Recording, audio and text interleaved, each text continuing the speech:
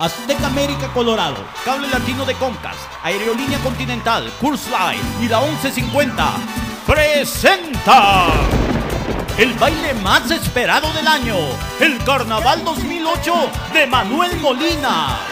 Sí, sábado 17 de mayo en el Hotel Marriott. Manuel Molina y sus 15 maestros los hará bailar de todo. Mil dólares para el mejor disfraz. 16 años de éxito. Carnaval es tradición.